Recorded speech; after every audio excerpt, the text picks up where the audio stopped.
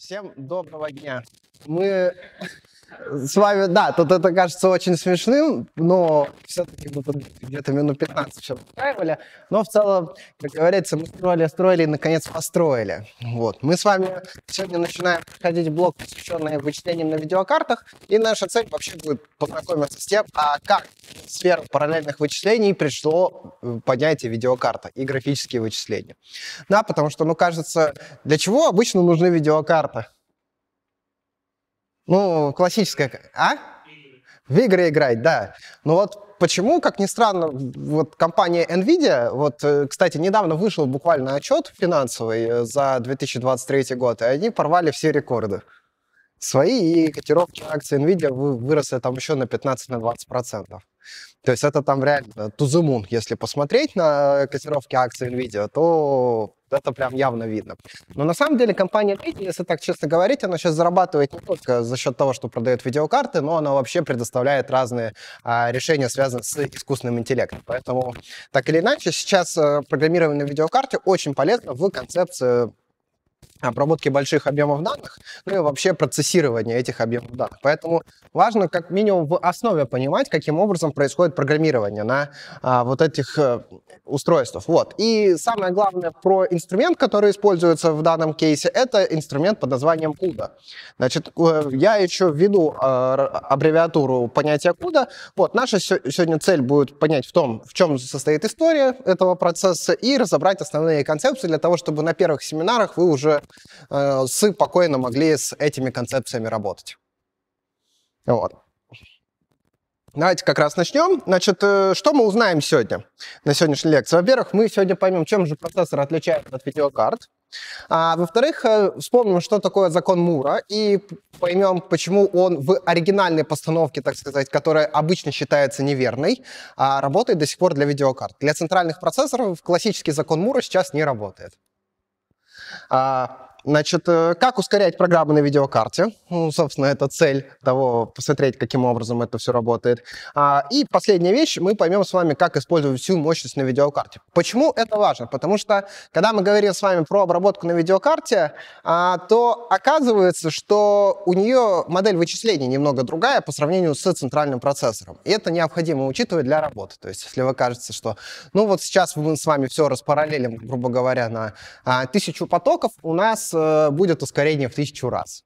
Ну, вообще это неправда. Если вы попробуете э, распараллелиться на ГПУ ровно так же, как на ЦПУ, то вас постигнет фиаско. Вы ускоритесь не в тысячу раз, а раз, ну не знаю, раз 20 от силы. То есть как бы закон Амдала пойдет гулять лесом. Вы знаете, что такое закон Амдала? Да, вроде говорили. Это максимальное ускорение, которое можно получить э, в программе.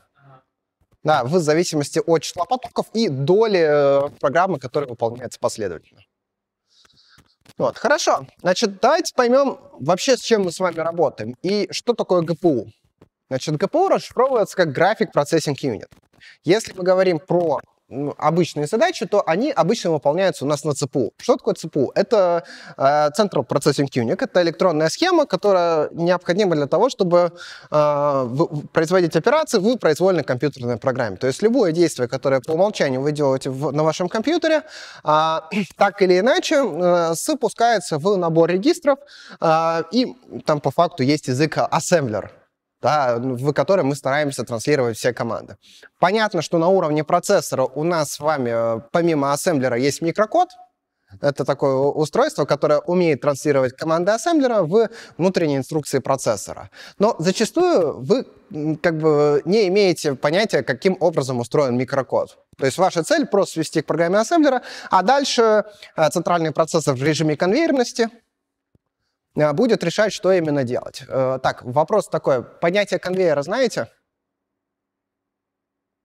процессора. Э, это, значит, такой, такая последовательность действий, в которой нам говорится, что операции должны идти в строго определенном порядке, и, собственно, у самого центрального процессора есть несколько вычислительных частей, несколько очередей, через которые этот конвейер может быть сделан. Да, представьте себе кейс, мы делаем какую-нибудь машину, понятно, что у нас с вами там одна часть, э, один отдел, допустим, строит корпус, другой отдел красит его. Понятно, что эти действия можно выполнять, ну, эти действия выполняются последовательно, но, в принципе, параллельно двумя разными командами можем делать разные действия. То есть один, одни собирают машину, другие, допустим, ее красят. Вот, в итоге мы получаем а, некоторую цепочку действий, в которой это все работает достаточно быстро. Так, а на доске ничего не видно, да? А? То есть вот она у нас две стадии. Это сборка и покраска.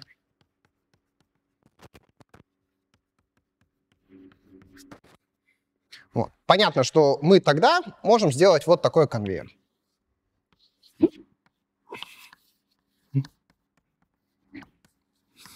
Вот. И это все делать в момент времени t. То есть у нас две разных команды могут заниматься одной и той же, ну, по факту, параллельной сборкой нескольких машин.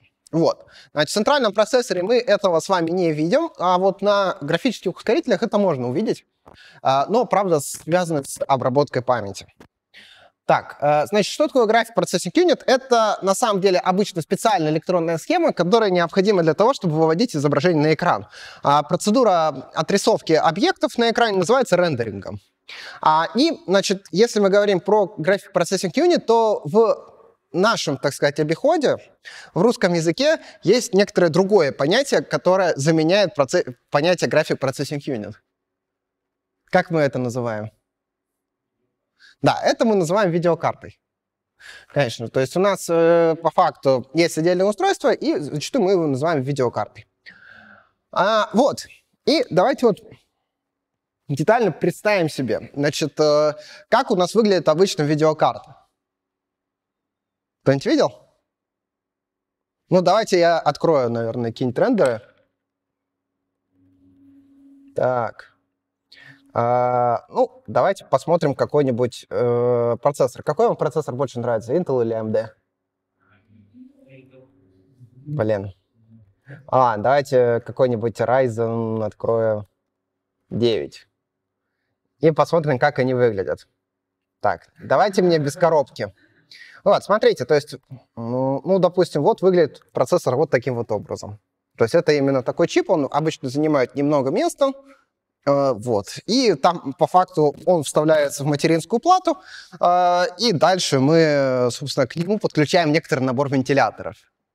Ну, то есть кажется устройство, ну, вот приблизительно вот такое. Значит, там вместе с лотом, со слотом материнской плате оно занимает немного места. Ну что, давайте теперь откроем видеокарту. Какую откроем? Ну, давайте, допустим, RTX.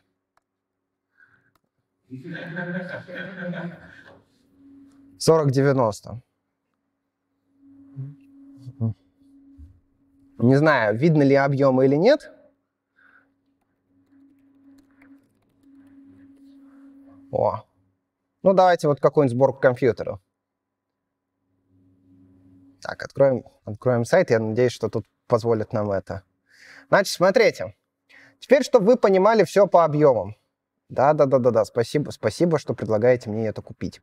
А, значит, вот видите вот это вот, э, то, что я на экране вывожу, это у нас э, вот такая вот коробочка. Вот это центральный процессор.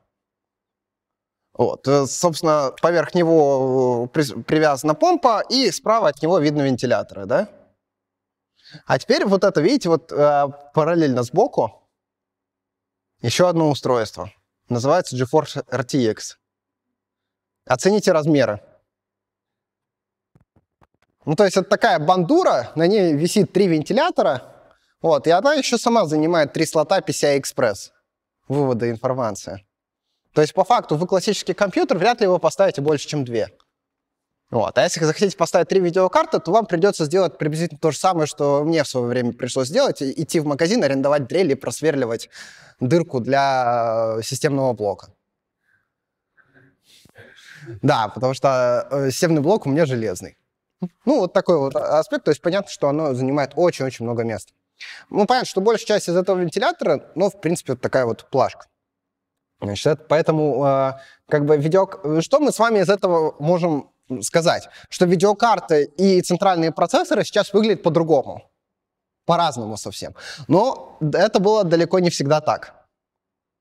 были времена, когда центральные процессоры и видеокарты выглядели одинаково, приблизительно. Давайте поймем, почему. А, для этого нам нужно отмотаться, поверите, где-то на 40 лет назад. 40 лет назад, это какие годы приблизительно? Да, 80-е годы. Значит, э, представьте себе, живем мы в 80-х годах. Э, и у нас есть замечательное устройство. Ну, на самом деле, если мы живем, так сказать, на Западе, да, то у нас есть, э, собственно, как раз такое устройство, как Nintendo Entertainment System. Nintendo Entertainment System. Значит, она до нас доехала в 90-е годы, это приставка Dendy. Возможно, слышали про такое. Вот, давайте как раз разберем специ... характеристики этого устройства и поймем на самом деле, сколько нам нужно информации прогонять за единицу времени для того, чтобы отрисовывать изображение на экране. То есть э, какой рендеринг нам нужен. Значит, э, давайте оценим, сколько ресурсов вообще занимает 2D-отрисовка объекта. Значит, для этого нам нужно понять, что у нас с вами есть значит, количество пикселей. Да, сразу скажу, что игрушки были плоскими. То есть не было никакого 3D тогда. То есть это всякие новомодные э, технологии, их еще тогда не было.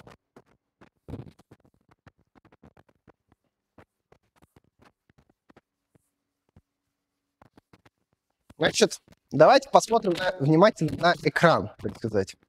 На экран -то, тот, тот, который я сейчас нарисую на доске. Значит, у нас изображение. У нас есть ширина. У нас есть высота. Угу. Сейчас мы понимаем с вами, что у современных мониторов э, ширина это 1920 в пикселях, высота 1080 в пикселях. Но когда были 80-е годы, то ширина была 320, а высота 240. И то, если повезет. То есть иногда еще меньше объема. А, вот, значит, э, сколько цветов могло храниться в одном пикселе? Сейчас мы понимаем с вами, что у нас э, на хранение каждого пикселя отводится 32 бита. Ну, либо, либо 60, 24 бита.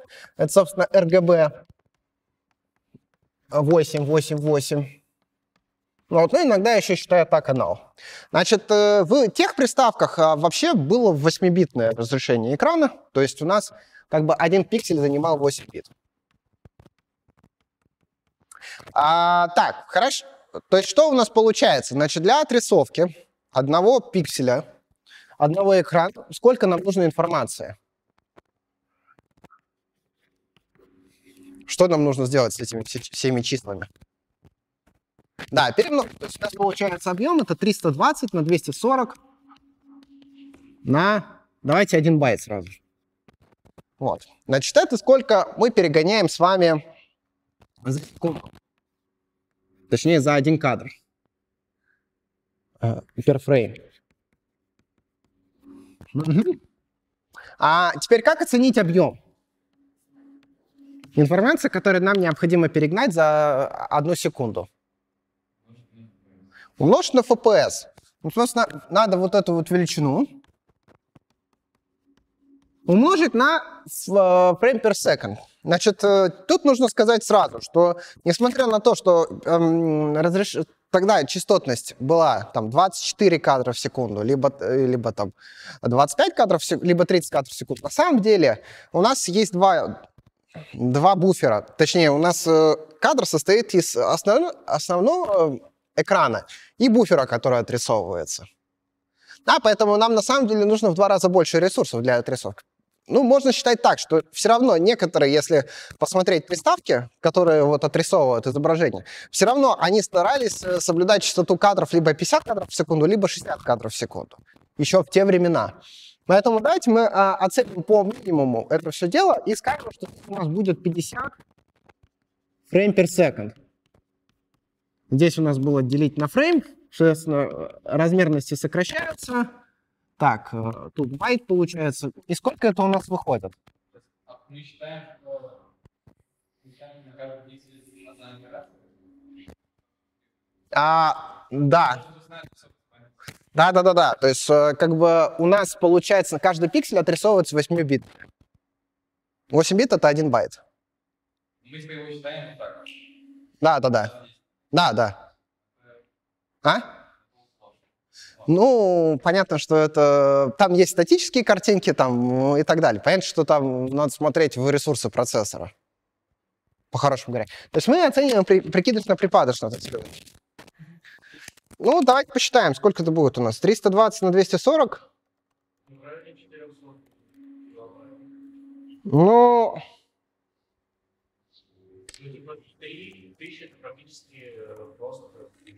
А 3,6, 3,66 мегабайт на самом деле.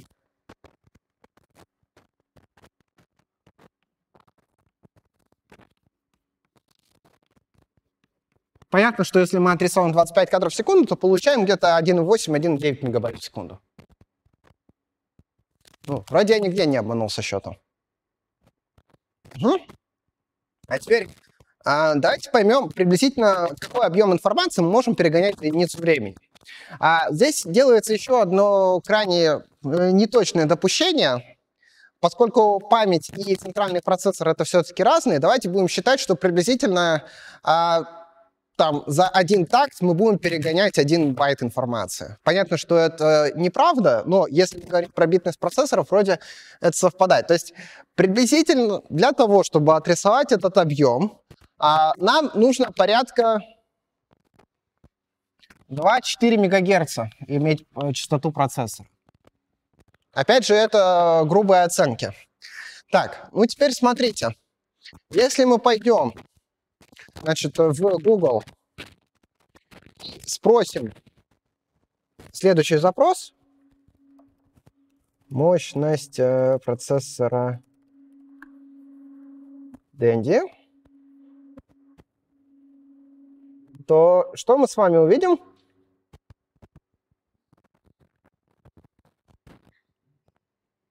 Один 1,8 МГц. Да, то есть, э, в принципе, мы попадаем в ту оценку, которая у нас есть для центральных процессоров. То есть, в принципе, за отрисовку изображения можно использовать э, а, классический центральный процессор для отрисовки 2D-объектов. Хорошо. Так, это понятно? Грубо.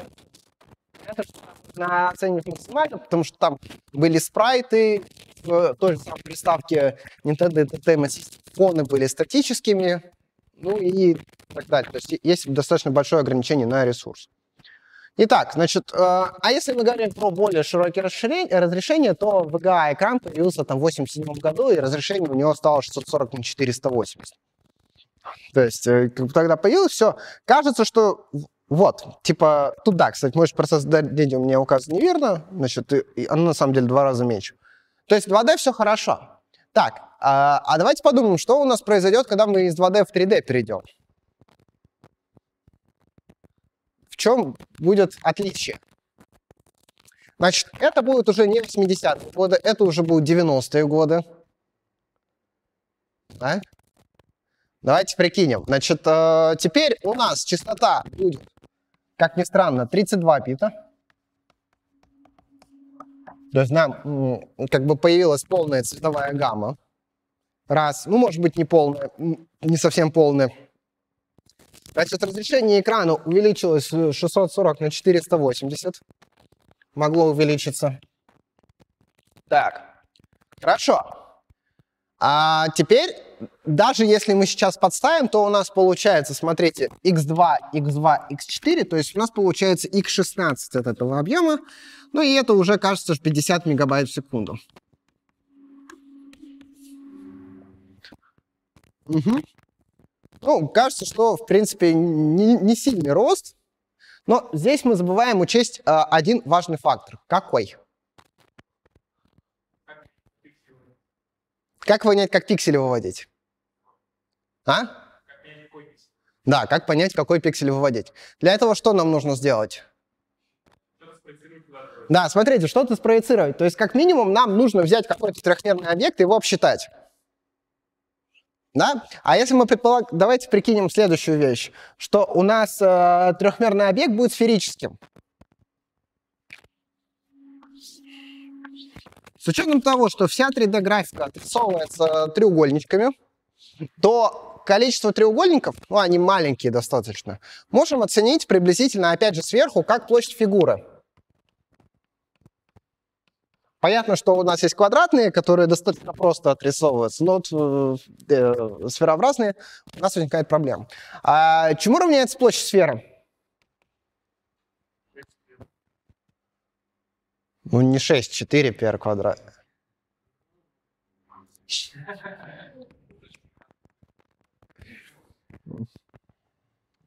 Эх.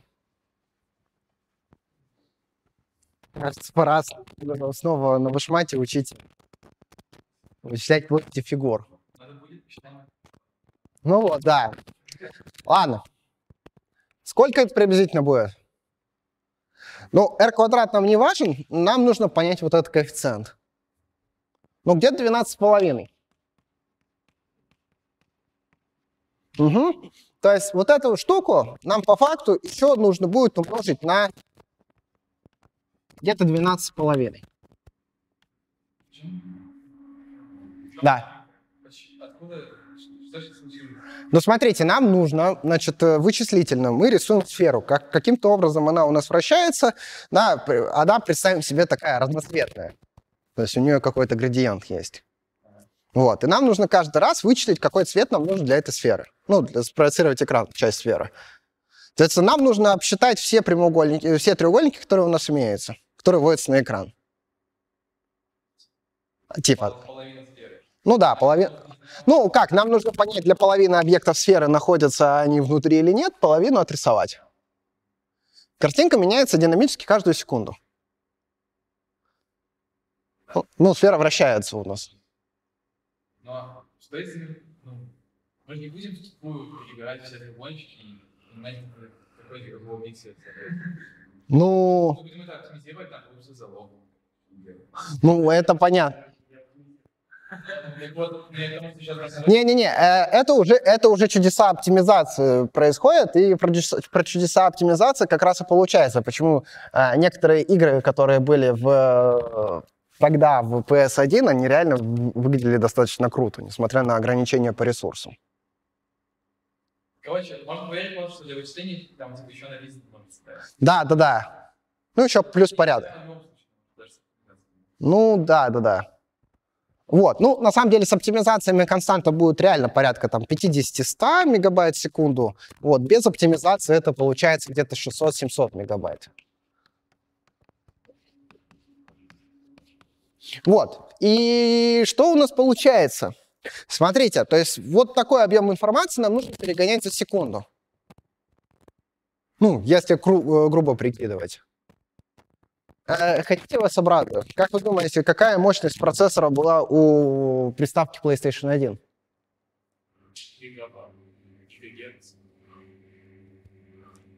Э, тут тоже определенные вычисления были. Мощность процессора PlayStation 1.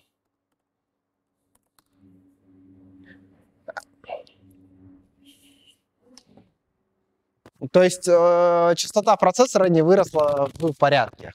То есть нам нужен был скачок на два порядка, у нас произошел скачок только на один порядок. То есть мы не успеваем вывозить разрешение на экран. Ну и тогда, смотрите, ну, классический тоже пример. Давайте сделаем следующее. Посмотрим на вот эту игру и посмотрим на картинки.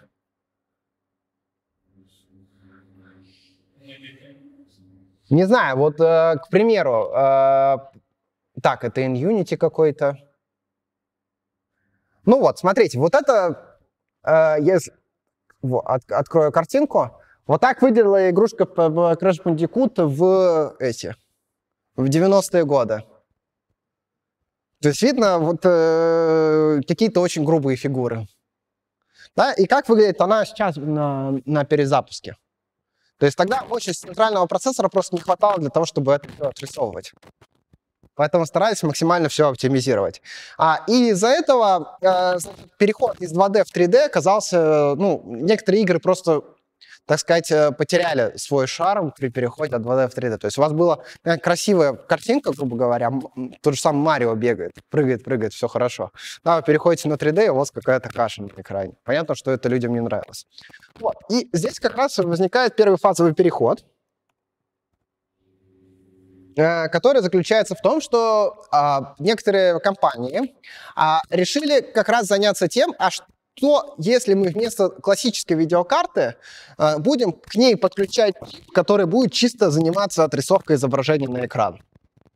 Вот. И так появилась компания 3DFX, и у нее есть э, э, был графический ускоритель по имени Voodoo. Значит, здесь э, скринкаст, ой, скриншот э, с сайта, собственно, 3DFX э, история, да, и слева мы видим изображение с вами игры без э, графического ускорителя Voodoo, справа с графическим ускорением Voodoo.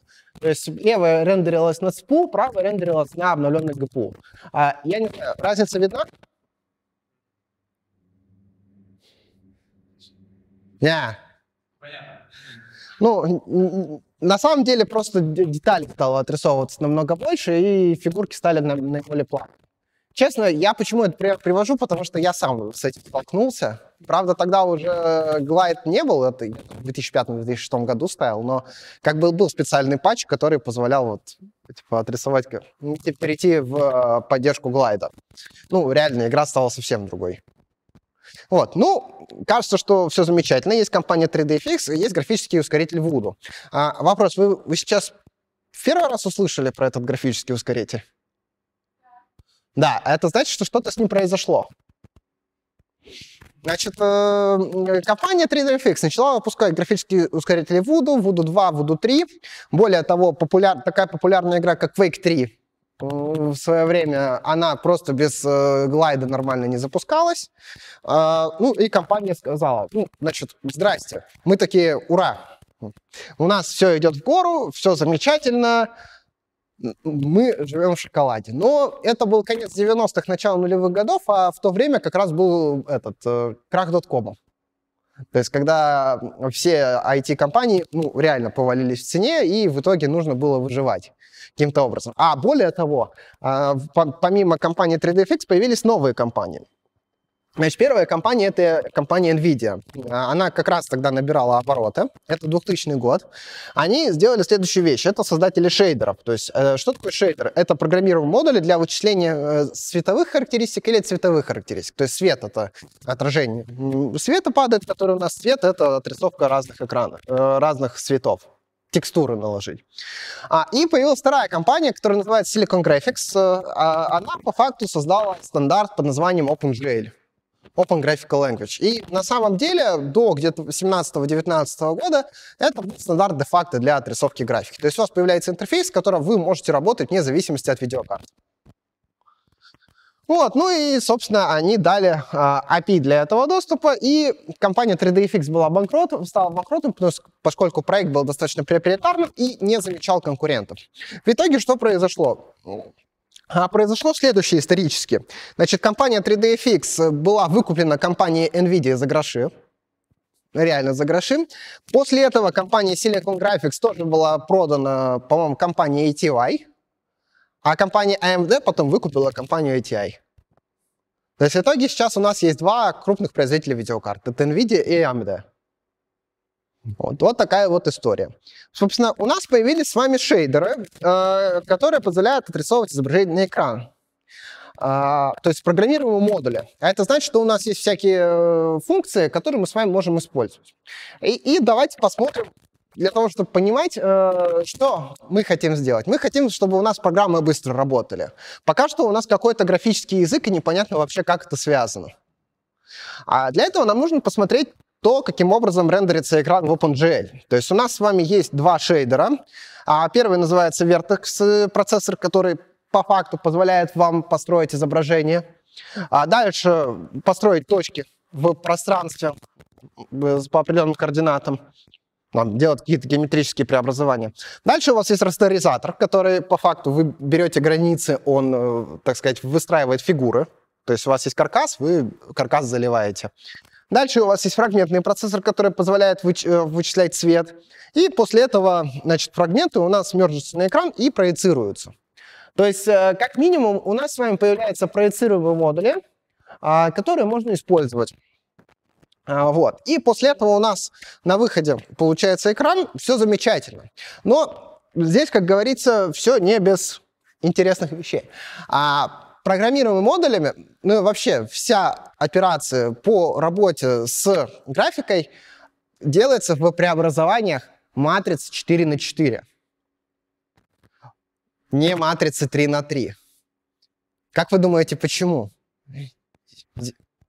А? Не-не-не. Не по этой причине. А, в смысле, однородные координаты. Да, однородные координаты. То есть, смотрите, э, у нас получается так, что мы работаем с вами, когда мы говорим с графикой, не в евклидовой геометрии. Потому что если бы мы работали в классической евклидовой геометрии, то у нас были бы преобразования вида матриц 3 на 3. Мы работаем с вами в проективной геометрии. Почему это важно? Мне кажется, у нас сегодня урок физики.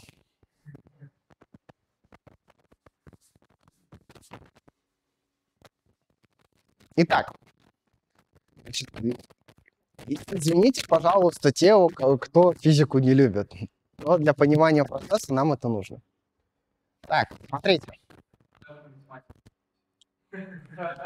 Ну, так обычно делают, когда говорят, что давайте мы теоретическую механику скроем, назовем его математической физикой. Вот. Значит, смотрите.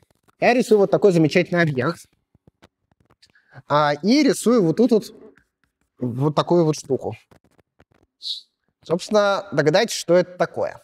Линза, да. Собственно, когда мы работаем с графикой, мы на самом деле смотрим все сквозь поверхность некоторых линз. Значит, что у нас происходит? А, когда мы пускаем пучок параллельных прямых, то что мы знаем с ней, про эти пучки? Куда они... Фокус, да. То есть смотрите, что у нас получается.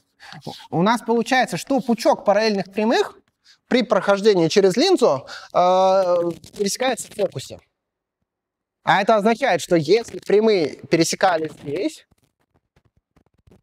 то прямые, которые были здесь... Нет. Не, в проективной геометрии я говорю. Тоже должны пересекаться.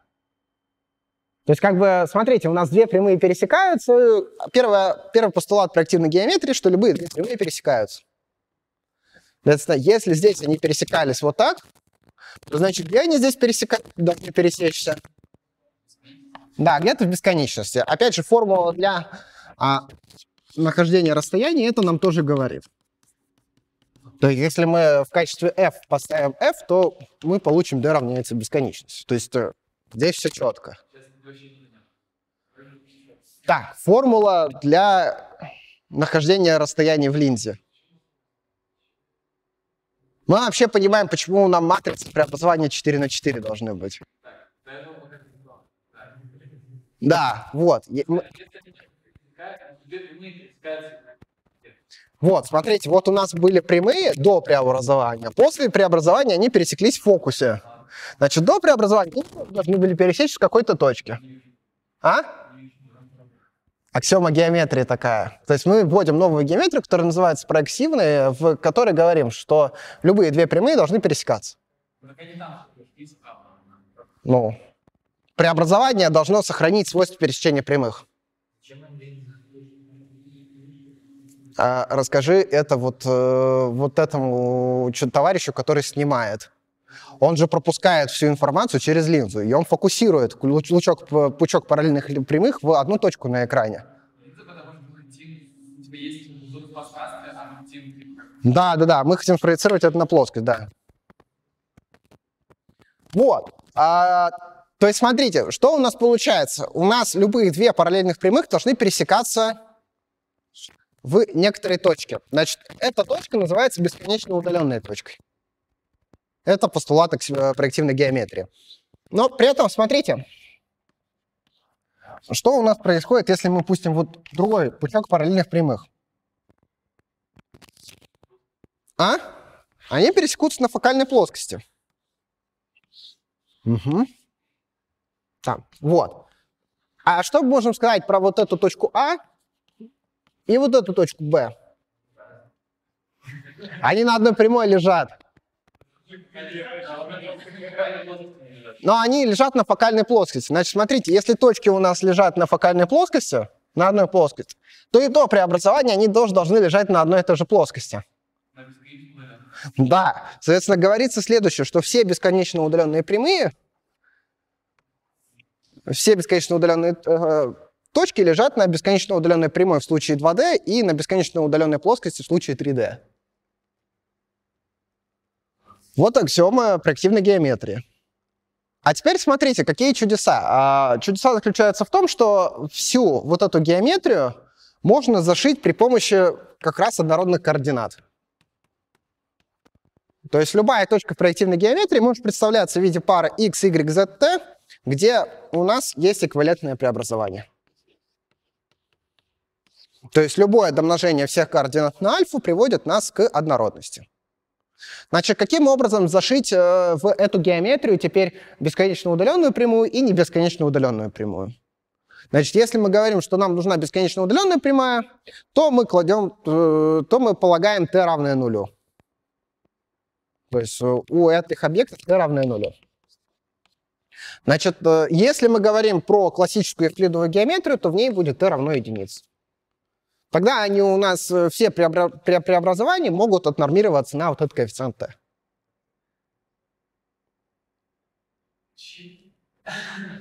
Чего? То есть Т просто 0,1. Да, да, t просто... Да, бесконечно удаленные, не бесконечно удаленные. Можно вот x, y, z, 5 же одна точка на перспективе плоскости. Да, Какая? в смысле? В плане, как координаты задают точку. А, для этого нужно смотреть, э, для этого нужно посмотреть на, тоже пустить, так сказать, пучок, э, выполнить проекцию и понять, где на плоскости эта проекция будет. Ну, чтобы было удобно с этим работать.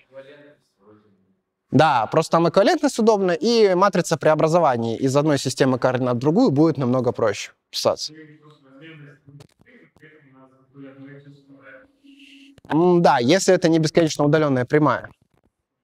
Мгм. Да, в общем, вот такая интересная геометрия. То есть у нас есть, смотрите, перемножение на матрице вида 4 на 4. И, о чудо, совпадение, 4 — это степень двойки. Сейчас начнется. А? А, а представьте себе, что вот для математического моделирования, ну и вообще для компьютерных э, всяких вычислений, степень двойки — это отличное число. Да, в памяти ложит, э, находится хорошо, и все замечательно. Значит, а тут в проективной геометрии, значит, тут еще показано, какие преобразования можно использовать для, для, для различных переводов. То есть э, мы начинаем отрисовывать объект, каким образом он рендерится на экран. То есть здесь у нас есть несколько как раз перемножений в вида проективной матрицы. То есть все эти перемножения можно использовать для своих целей. А теперь главный трюк. Давайте мы будем использовать их не для того, чтобы выводить изображение на экран,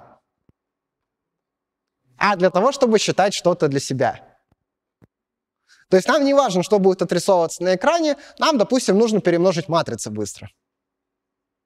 Мы задаем коорди- э, нашу входную матрицу как набор точек в проективной геометрии, задаем проективные преобразования, а, а это по факту блочное перемножение матриц, и получаем результат, который м, получается на выходе относительно этих преобразований. А? Это то, чем мы будем заниматься. Нет, это не то, чему мы будем заниматься, это то, к чему мы идем. А, ну, я так ска- скажу наперед, забегу. Компания NVIDIA увидела все это и решила сделать нормальный интерфейс для всего этого. Вот, значит, э, идея такая, давайте ничего не изображать, а использовать матрицы для вычислений. А, и здесь у нас возникает концепция из классификации по флину, Single Instruction Multiple Data. Значит, э, мы можем одну векторную инструкцию выполнять на некотором век- векторе значений в один такт времени, одной ассемблерной инструкцией. Вот как раз, посмотрите, у нас по факту есть набор точек. Нам этот набор точек нужно быстро привести а, проективным преобразованием в какой-то другой набор точек. Почему бы это не сделать одной ассемблерной командой? Да, просто поставить одно устройство о- управления на, э, на некоторый набор регистров. Как говорится, сказано, сделано. То есть это у нас как раз есть в видеокарте, и появился как раз специальный механизм. А, язык в то время назывался Брук. Это обертка над API компьютерная графика. То есть у нас был OpenGL, а поверх него был Brook. А, точнее, поверх механизма шейдеров, которая позволяет выполнить э, некоторые векторные операции. Ну, даже есть статья, которая позволяет это сделать. А API, напоминаю, что это Application Programming Interface. То есть это тот формат, в котором мы взаимодействуем. Вот, э, значит, вы уже, наверное, знакомы с э, тем, как работает MPI. Да, все были на семинарах по MPI. Вот, и вы пользовались компилятором MPI-CC. Здесь такая же была обертка, код Brook CC. Язык назывался. Я не знаю, у меня, по-моему, даже где-то здесь должен, должна быть, э, должны быть исходники этого всего. Так, давайте. А, во. Вот они. А, собственно, это код на этом. Код, исходный код Брука. Ну и здесь на, на самом деле видно, э, что есть вот такой вот механизм. Давайте открою текстовый редактор.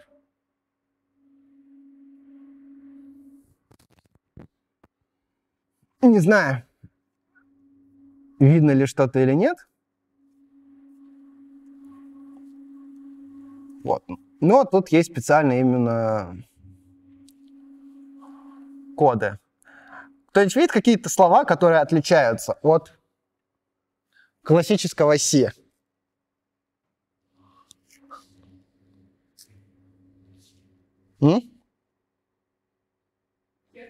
Да, смотрите, появляется ключевое слово kernel, которое обозначает, что это, это набор инструкций нужно трансформировать в набор команд для видеокарты. То есть обычно пишутся на видеокарте ядра. А вот. И второе, здесь дополнительное ключевое слово, есть reduce. То есть это операция свертки для того, чтобы сложить какой-то а, а, результат. Понятно, что это все использует OpenGL Runtime, то есть, э, и как раз, видите, тут уже большое количество прямо было написано разных вещей. Да? Даже трассировка была написана. Вот. В принципе, можно почитать исходный код, но это наш, не наша цель на самом деле. А наша цель понять вот такую вещь. А, это график производительности, который был получен на разных видеокартах в зависимости от э, временной шкалы. А, и что мы с вами здесь замечаем? Э, процессор Pentium 4, несмотря на то, что они выпускались по, как процессор нового поколения, мы видим, что производительность растет не сильно. Да, но при этом код, который был написан на разных видеокартах, NVIDIA и ATI, какой у него рост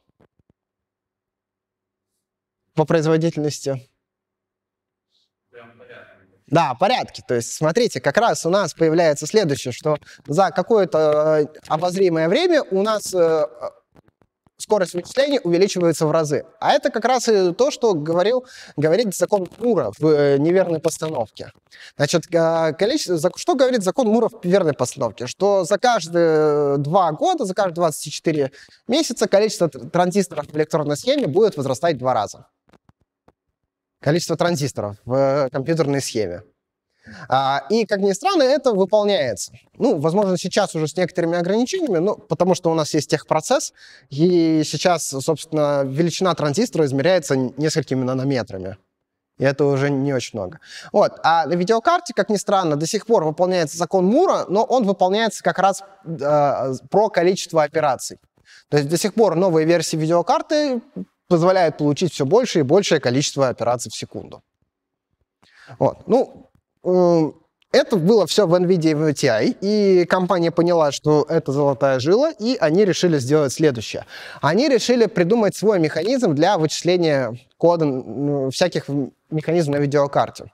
Значит, смотрите, это модель шейдера, каким он выглядит. Э, что подается на вход э, шейдер? У нас есть некоторый набор входных регистров, через которые у нас передаются, так сказать, э, константы. Типа у нас есть точка на плоскости, и нам нужно ее отрисовать. Там покрасить ее в какой-то цвет. Значит, что э, с ходу можно туда присобачить? Значит, текстуру, которую нам нужно отрисовать. Что такое текстура? Это по факту обои, либо цвет, который нам нужно пририсовать. Дальше у нас есть некоторый набор констант, которые мы можем зашить, и некоторый набор э, регистров общего назначения. Вот. Они все подаются в, фрагментную программу, и мы получаем с вами выходные регистры. То есть выходные регистры — это по факту... Что там? Нормально? Для каждого цвета мы по, для каждой точки на экране определяем ее цвет. Вот, то есть это вот то, как изначально пользовались э, этим всем на видеокарте. Но понятно, что таким образом мы с вами не можем работать никаким образом с массивами. Это проблемно. Но тогда что мы сможем с вами сделать с массивами? Давайте мы вместо того, чтобы использовать э, в данной концепции э, входные регистры, давайте мы передадим идентификатор нашего потока. То есть у нас с вами будет э, на вход подаваться номер потока, который отвечает за выполнение операции, не какой-то набор значений, а фрагментную программу переименуем в thread программ. То есть она на входе будет принимать какое-то число, и в зависимости от этого числа будет выполнять какую-то операцию. Значит, давайте я спрошу, MPI все заботали? Хорошо, а тогда рубрика повторяем MPI. Когда у нас компьютеры запускаются в одну... Когда у нас несколько процессоров запускается в несколько процессов запускается в общую программу, то что назначается каждому процессу? М? Да, а, этот номер обозначается ранг. То есть у нас есть группа под названием comvol, из которой мы можем узнать world size, размер группы. Вот, и каждому значит, процессу назначается ранг ID. От нуля до word size минус 1.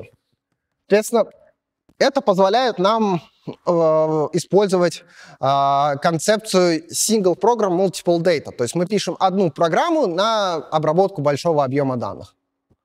Да, это под концепция multiple program multiple, э, этот, э, multiple instructions, multiple data. А, вот. А в данной концепции мы говорим следующее. Давайте вместо того, чтобы у нас был ранг, мы с вами передадим некоторую константу, которая называет, величину, которая называется thread То есть у нас будет номер потока, и в зависимости от номера потока, на самом деле, мы можем получить элемент, элементы массива, которые должны обрабатываться данным массивом. Там они будут от нуля до, до бесконечности ну, не до бесконечности, до максимального ограничения. Сразу скажу, что это логическая абстракция, на физическом уровне это будет немного по-другому. Вот, значит, у нас появляется вот такой вот номер потока, который мы с вами, в принципе, можем использовать. А дальше мы сделаем следующее. Ну, понятно, что в выходные регистры писать неудобно, поэтому было бы неплохо иметь память для хранения этих ресурсов. То есть не дать больший контроль э, нашему исполнению. То есть вместо того, чтобы указывать, что вот эти пиксели отрисовываются в какое-то место на экране, давайте мы будем указывать, что именно запиши, пожалуйста, это все вот конкретный элемент массива, определенный результат. А, и третий переход, который здесь был, это, собственно, нужно добавить разделяемую память. Что такое разделяемая память? Это память, которая доступна соседним элементам. То есть представьте себе, что нам нужно посчитать какую-нибудь локальную свертку. Вот, у нас, э, допустим, есть сверточный слой, и нам нужно взять значение только соседних элементов, но не всех элементов. И поэтому нам нужен более быстрый доступ к соседним элементам, чем к глобальной памяти. а кэш. Вот. И а, про, про что мы будем с вами в следующий раз говорить? Мы будем говорить с вами про то, что на самом деле в видеокарте кэш управляемый, в отличие от центральных процессоров. Вот. И в итоге вот такая вот архитектура нам позволила сделать следующее. Она по по позволяет нам сказать, что есть некоторая архитектура, а, которая по факту выполняется на видеокартах, на, но при этом уже готова к тому, чтобы мы с вами могли обрабатывать э, наши массивы, наши элементы при помощи э, классических стандартных операций. То есть это максимально приближено у нас, получается, к MPI. Вот. Но при этом мы будем все считать на видеокартах. Значит, и это называется CUDA, а расшифровывается как Compute Unified Device Architecture. То есть э, это архитектура, которая позволяет э, на самом деле выполня... использовать графические ускорители а, э, от компании NVIDIA как процессоры общего назначения. То есть вы можете написать, смотрите, в чем особенность. Вы, в принципе, можете написать похожий код, на, как на, на ЦПУ, и он у вас запустится. Правда, он будет работать сильно медленнее. Но он запустится. А, вот. И какая история этой всей этого всего процесса. А первая версия CUDA появилась 15 февраля 2007 года. То есть это сколько лет назад? Ну, уже 17, наверное. Да. Угу. То есть уже через несколько лет, вы понимаете, куда будет старше, чем люди, которые будут проходить эту куду. Ну вот. А последняя версия, которая сейчас э, является стабильной, это э, CUDA 12. Собственно, она была выпущена в 2022 году в, для поддержки карт RTX 40 э, звездочка-звездочка. Не исключаю, что в этом году выйдет 13-я CUDA. Ну, или э, для, если посчитают, что 13 это плохое число, будет выпущена сразу 14 версия кода. Ну, посмотрим. Вот, и, естественно, вот эта вот архитектура нам позволяет каким-то образом выполнять ускорение. Пока, правда, непонятно, каким образом она это будет делать, но сейчас мы это посмотрим. Так, есть ли вопросы? Это такое введение. История, как мы дожили до жизни такой. Хорошо, давайте теперь поговорим про базовые понятия, которые у нас есть в КУДе. А сейчас сразу скажу, что будет большое количество определений. Потому что архитектурно это все отличается. Первое, что нам нужно понять, это какие виды памяти существуют в концепции CUDA. Значит, у нас, у оперативной, на нашем компьютере есть своя собственная память, это оперативная память, и есть э, память в виде видеокарты. Это называется host memory, это наша память нашего, э, э, нашего компьютера. И есть device memory, это память устройства. То есть они находятся независимо друг от друга. И не поверите, зачастую как раз указывается количество памяти, которое у нас есть на видеокарте. То есть вы открываете какой-нибудь интернет-магазин, вы идете в магазин, и у вас там написано, образно говоря, э, GTX 3080, э, э, столько-то гигабайт. Вот, это означает, сколько гигабайт у вас есть. Это оперативная память. Давайте я как раз параллельно буду открывать. Да, здравствуй, Крэш. Вот, RTX 3090. Ну, собственно, ценник тут, понятно,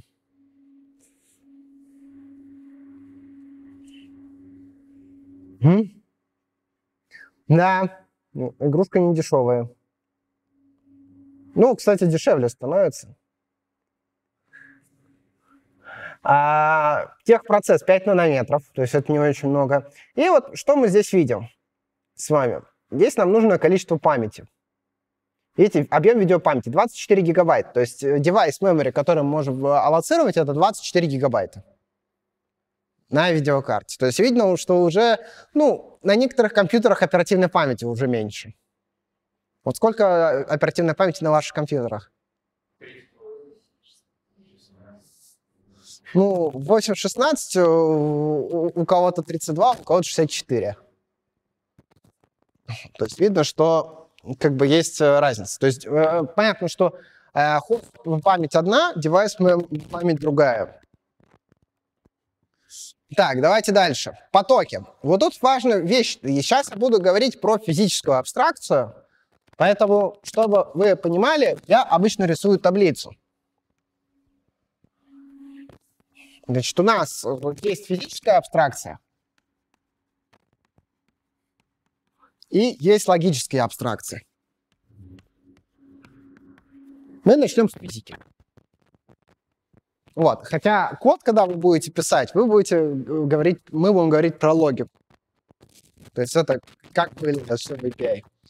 А, первая абстракция — это CUDA-ядро. Это атомарные единицы вычисления на видеокарте.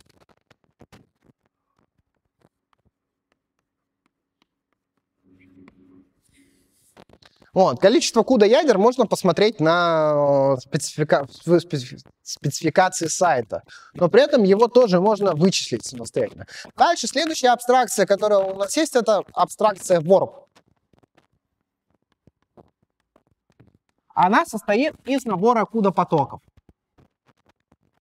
И смотрите, в чем особенность. Особенность в том, что устройство управления находится не в CUDA ядре, а находится в варпе. То есть именно здесь э, происходит управление регистрами. Не здесь. При этом, значит, обычно, если мы говорим про спецификацию, у нас получается, что на один ворп по современным архитектурам видеокарты 32 варпа. То есть как бы одно устройство управления а, одновременно управляет 32 ядрами.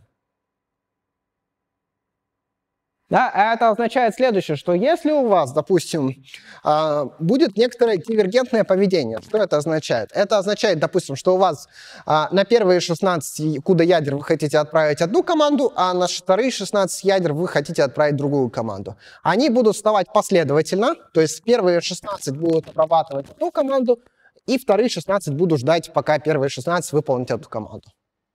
Поэтому лучше, лучше делать все эти команды блочно чтобы все 32 э, кода ядра, которые находятся в одном ворпе, выполняли одну и ту же команду.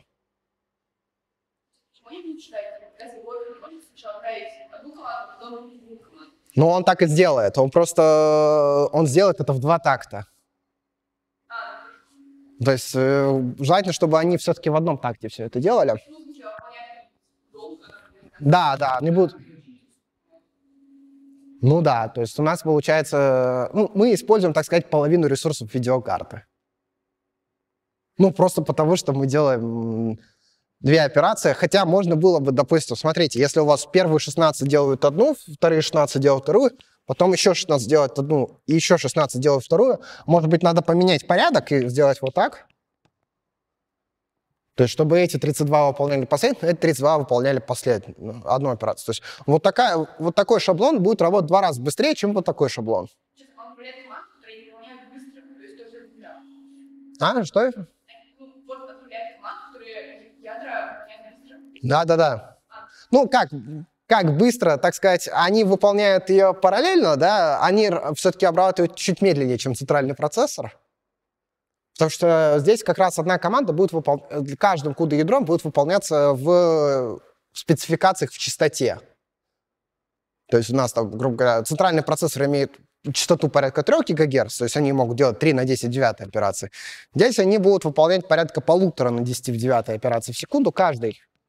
Отдельно, но получается за счет того, что у нас есть общий ворп, то как бы количество операций будет умножаться на 32 в этот момент времени. Так, значит, это Warp. да, несколько CUDA ядер как одно единое целое выполняет. А, а дальше есть еще одна абстракция, которая называется стриминг мультипроцессор.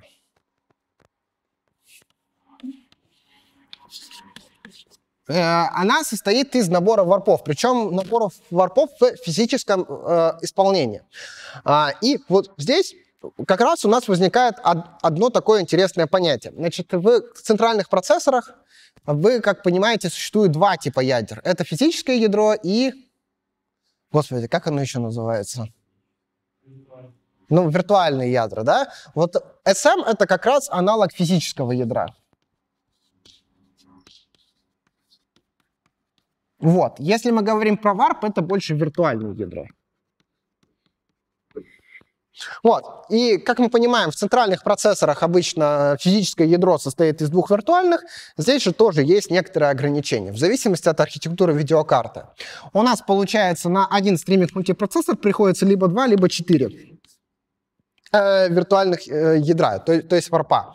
А, в большинстве видеокарт у нас будет использоваться именно 4 варпа, но, как ни странно, на том сервере, на котором мы с вами будем работать, э, там будет именно на одно физическое ядро два виртуальных ядра, два варпа.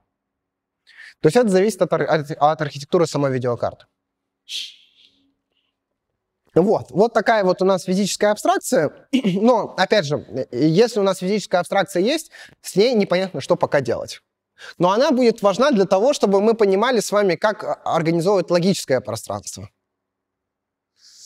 Значит, э, и тут как раз есть задача, которая есть. Значит, представьте себе, что у некоторого Паша есть видеокарта. А, старая видеокарта. Значит, э, что он прочитал? Он прочитал, что в нем находится а, 2560 куда ядер. Это правда. Значит, э, дальше он пытался долгим вечером разобраться, собственно, какая здесь константа, 2 или 4. И узнал, что в спецификации количество стрим-мультипроцессоров равняется 20. То есть здесь у нас 20 стрим-мультипроцессоров на, 1000, на 2560 куда ядер. Вопрос. А сколько варпов в одном стриминг-мультипроцессоре? Но смотрите, нужно вот эту величину поделить на вот эту, тогда мы поймем, сколько варпов у нас всего существует. То есть это у нас получается 2560 э, поделить на 128. Ой, на 20. Мы получаем с вами 128, и дальше вот эту величину нужно поделить на количество э, ядер в варпе. Получаем, что здесь константа 4. То есть на самом деле по количеству стриминг мультипроцессоров вы явно можете посчитать количество CUDA ядер. О, количество варпов в одном стриминг мультипроцессоре. Это важно. Так, понятно, как эта задача решается?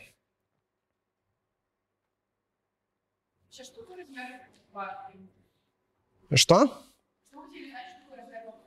А размер варпа — это сколько куда ядер помещается в одном варпе. Да, мы хотели узнать, сколько варпов находится в одном стриминг-мультипроцессоре. Вот, их оказалось столько. Просто в старых версиях архитектуры видеокарты их было 16, а не 32. Так, хорошо. А, это что касается физической абстракции. Теперь давайте про логические абстракции. Да, кстати, картинка. А, вот так выглядит один стриминг-мультипроцессор. Вы не поверите, вы можете даже тут пересчитать, сколько тут э, регистров есть. Вот оно, то есть у нас есть э, стрим мультипроцессор, у него есть L1 кэш, а, и здесь можно пересчитать, сколько юнитов здесь находится. Как ни странно, если сложить тут int плюс fp32, тут их как раз получится 32. То есть это по факту варпы. Вот. А то устройство, которое управляет варпами, а, оно оранжевое, это варп-шедулер. То есть в нем как раз э, мы можем с вами вычислить 32 потока. Значит, здесь есть в новых версиях видеокарты есть еще тензорные ядра, но я думаю, мы про них поговорим чуть позже. Потому что это необходимо для того, чтобы как раз э, всякие нейросети обучать. То есть сейчас компания NVIDIA занимается еще тем, что в устройство внедряет всякие штуки для того, чтобы быстрее нейросети обучались. Потому что это коммерчески успешно. Вот одна из таких вещей это как раз стриминг, э, этот, тензорное ядро. Теперь давайте говорим про логические абстракции. Значит, э, в качестве логической абстракции у нас а, здесь находится тред. И обычно один тред выполняется на одном CUDA-ядре. То есть здесь соотношение один к одному. А следующая абстракция, которая есть, я ее нарисую чуть ниже, это блок. Это набор потоков, которые логически исполняется на единицу времени. Я ее нарисую здесь ниже. Почему? Потому что хоть блок состоит из тредов, но когда мы будем выполнять блок, он, видеокарта, его будет автоматически бить на варпы. То есть блок будет делиться на варпы и посылаться команду будет через варпы. А размер, поэтому размер блока, который мы с вами задаем, должен быть кратен размеру варпа. То есть это 32, 64, 128, там, 256 и так далее. Но, опять же, есть максимальное ограничение. Я напишу его так, что на один блок можно использовать максимум 1024 потока. Возможно, что архитектура видеокарты поменяется, и вот эта константа будет меняться э, в зависимости от архитектуры видеокарты. Да? Если мы блок Да, он просто заиспользует лишний блок, и, соответственно, получается, в последнем варпе будет использоваться 8 элементов из 32. Э, ну, в целом ладно, но... Ну, там 8 там, 8 там накопится в итоге. Вот, поэтому это лучше как раз А, блоки делятся на варпы, я сказал. И дальше здесь еще есть одна абстракция, которая называется гридом. Это набор из блоков, который выполняется логически. Значит, смотрите, что происходит, когда работает видеокарта? Она берет грид, А, и делят это все на стриминг мультипроцессоры. То есть э, у нас один стриминг мультипроцессор, один, точнее сказать, один блок выполняется на одном стриминг мультипроцессоре. То есть что делает стриминг мультипроцессор? Он берет один блок и берет его в обработку. То есть у нас здесь есть 128 CUDA потоков, CUDA ядер, допустим, размер блока 256, он берет и за два такта обрабатывает этот блок. 128 плюс 128. Вот. А grid — это логическая абстракция, которую мы с вами можем использовать для решения наших задач. Для того, чтобы мы не занимались э, распределением блоков по стриминг-мультипроцессорам, потому что мы не знаем, сколько стриминг-мультипроцессоров в каждой видеокарте есть. То есть у нас наша цель будет написать код, опять же, мы про параллельное вычисление здесь говорим, мы больше говорим про ученых, которые пишут этот код. Поэтому как-то не очень хочется делать так, чтобы указывать явно стриминг мультипроцессоров, насколько из них параллель. Тем более часть из них может быть свободна, часть из них может быть не свободна. Так, хорошо. То есть у нас... И смотрите, значит, когда мы запускаем grid, то есть на самом деле, когда мы запускаем код, мы будем с вами запускать именно grid. А, и...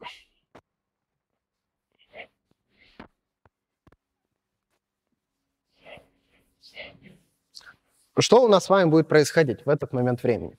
А, в этот момент времени мы будем с вами задавать при вызове ядра нам нужно будет зада задать два параметра.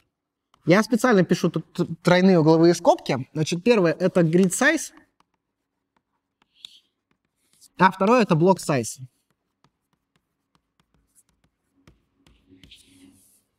Значит, это у нас будет количество блоков.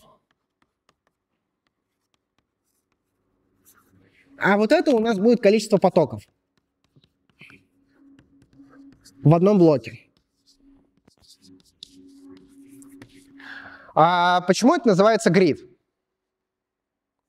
Что такое grid в переводе с английского языка?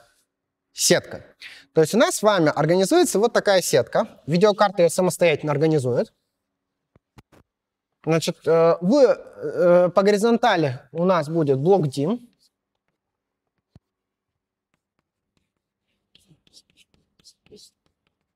А вот этот параметр — это grid dim. Давайте я их переименую, чтобы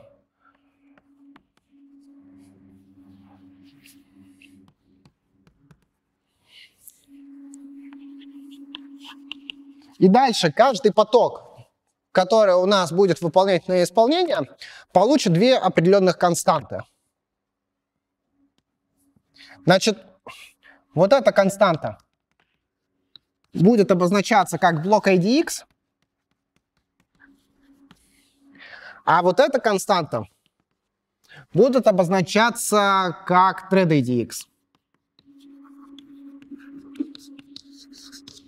А нумерация идет с нуля. То есть у нас получается здесь 0 и здесь 0. Вот, то есть, когда мы задаем логически вот эту вот всю вещь, то у нас автоматически, когда мы будем запускать код ядра, будет выделяться две константы, каждая из которых будет отличаться у собственного ядра. Угу. Давайте вопрос, который я хочу задать. Как вычислить э, идентификатор вот этого потока? Вот в этой общей нотации.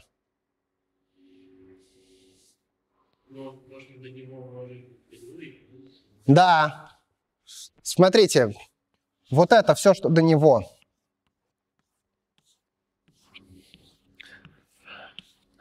Это что у нас получается? Блок IDX на блок DIM?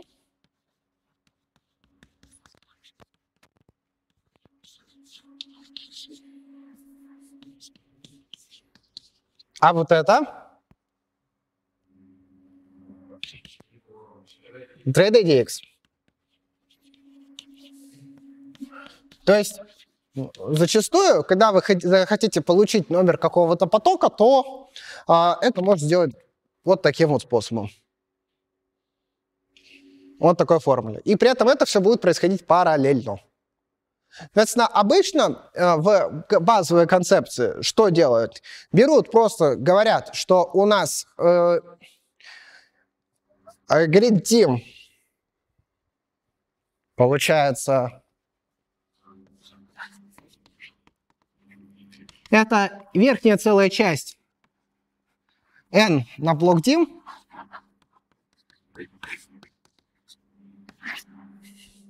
Да, то есть у нас получается весь массив мы запихиваем в сетку. А дальше видеокарта сама будет э, вычислять для каждого элемента массива его позицию. Понятно, что у нас в последних каких-то элементах у нас элементов не будет. То есть здесь у нас не будет каких-то элементов. Ну, тогда мы это можем легко решить, сказать, что если у нас IDX будет меньше, чем число элементов, тогда делаем вычисление. Иначе вычисление мы проводить не будем. А? А потому что если нижняя грань, то у нас несколько последних элементов просто не будет обрабатываться. Как бы нам нужна сетка, которая минимально покроет наше все пространство. Да, то есть у нас получается гридим это n делить на размер блоков. Понятно, что это не оптимальная конструкция для некоторых вычислений, но в целом это можно сделать. Почему это важно? Почему важно именно задавать таким образом? Потому что на самом деле, когда это все происходит, каждый из этих блоков будет браться определенным стриминг мультипроцессором. Вот. А мы с вами понимаем, что когда мы берем стриминг мультипроцессор один, да, и назначить, допустим, количество, размер блока равное количеству стриминг мультипроцессора, это плохая задача, потому что у нас некоторые стриминг мультипроцессоры могут работать быстрее, некоторые освобождаются и так далее. Поэтому вместо того, чтобы городить огород, так сказать, мы можем сделать следующее. А давайте-ка а, поверх вот этих вот гридов мы по факту с вами сделаем, так сказать, thread pool.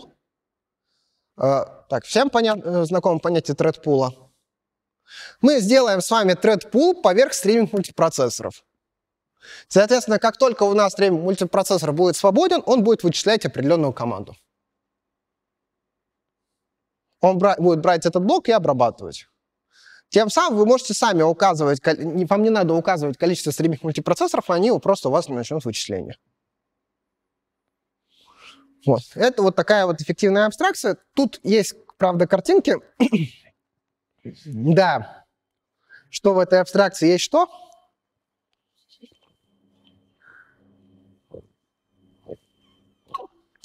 Давайте поймем. А, сразу скажу, что здесь изображена логическая абстракция. Как вы думаете, что здесь является тредом? Да, одно растение. Хорошо, что является блоком? Да. Да, грядка называется это. Угу. А, что грядом является? Поле, огород. Угу. Так, теперь давайте разберемся с физической абстракцией. Что можно с растениями делать? Зачастую. Что чаще всего делают с растениями? Поливают, да. Хорошо. Значит, что тогда будет у нас куда ядром? Да, когда мы поливаем одно растение, что такое будет ворп тогда?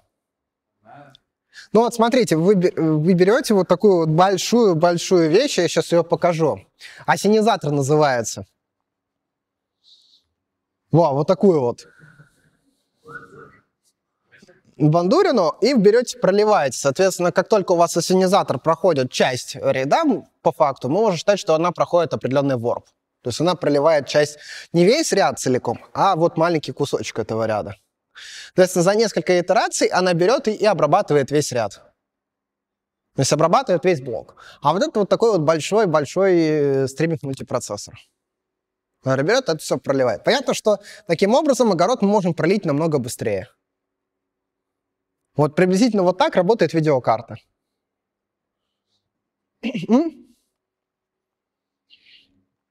Вот. В общем, вот такие вещи. Ну и давайте, может быть, что-нибудь на затравку я покажу какую-нибудь картинку.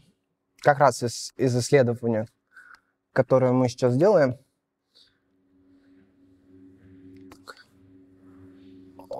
Так, давайте я такое покажу. Сейчас, секунду. Вот, для sparse матриц.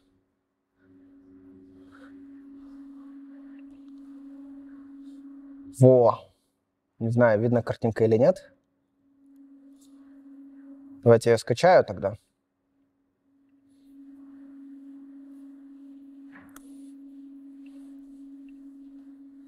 Во! Это время обработки. Значит, э, мы, мы делаем пакет, который занимается вычислением матриц расстояний.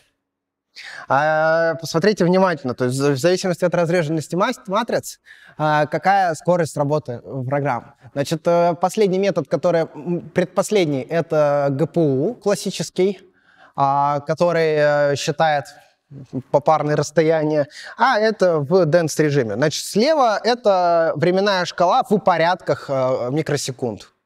То есть шестерка это одна секунда. Семерка это 10 секунд, восьмерка это 100 секунд. Вот, значит, э, вот они ГПУ, вот э, видно, где они находятся, и видно, где находится спарс ГПУ. Впечатляет ли вас скорость работы? В чем задача? А, матрицы расстояния вычислять, то есть э, всякие корреляции и так далее. Именно на ГПУ. То есть у нас есть матрица, у нас есть вторая матрица, и мы хотим посчитать попарное расстояние между всеми, э, между всеми строками в матрице. Вот, при этом у нас матрица бывает обычная, а бывает спарс матрица. Вот, здесь корреляция Кендалла попарная считается.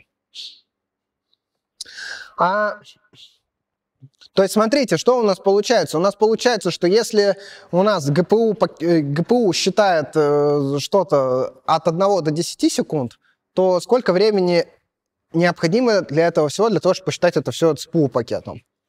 От 10 до сотен секунд. То есть ускорение видно в порядке. Поэтому мы это так или иначе и проходим с вами. Все, давайте, наверное, вопросы.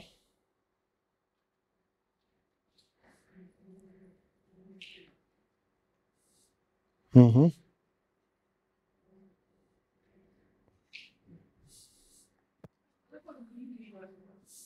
Что такое грид? А, Грид — это сетка, э, при помощи которой видеокарта будет назначать задачи на, про- на обработчике. То есть у нас есть размер блока. То есть что делает? Она создает сетку, и для каждого элемента этой сетки выдает отдельную задачу на исполнение. То есть э, как бы вот так вот видеокарта передает задачи в физическую инфраструктуру. Каждая строка в этой истории обрабатывается одним стриминг-мультипроцессором. То есть что берется? Берется вот эта строка, отдается на стриминг-мультипроцессор. Потом стриминг-мультипроцессор берет вот эту строку блока и бьет ее на варпы. И ее исполняет. Вот, просто чтобы нам с физической абстракцией не, не сталкиваться, мы как раз отдаем максимально это все на выполнение в видеокарте.